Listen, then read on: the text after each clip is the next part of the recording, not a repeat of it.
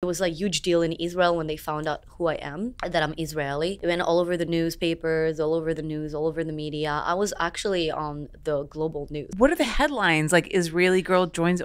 It doesn't Yeah. seem like she moved to the US and now she's a star. the star gets clicks. Yeah, a lot of uh, it said in Hebrew that now I'm a star, and that's before I even started doing stuff. It was just a bunch of and bikini and feet, like teasing, softcore, taking my off in the shower when it's really dark, stuff like sensual stuff, like Yeah. boudoir stuff. Um, but for them, it was a huge sensation in Israel. I found out myself all over the internet from having 50,000 followers on Instagram to 250,000 followers in like two weeks.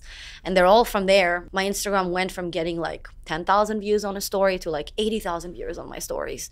Like insane. Like the, the, the engagement got crazy. Comments were mean a lot of reports. My instagram was shutting down every week because the community there did not like what i do